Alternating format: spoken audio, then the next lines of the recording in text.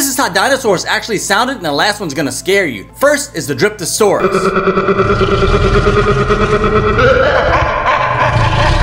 They were said to be 25 feet long and they would leap on their prey like raptors do. This is the Triceratops.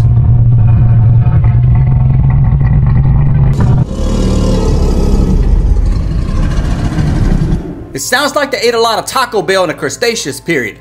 This is the Spinosaurus.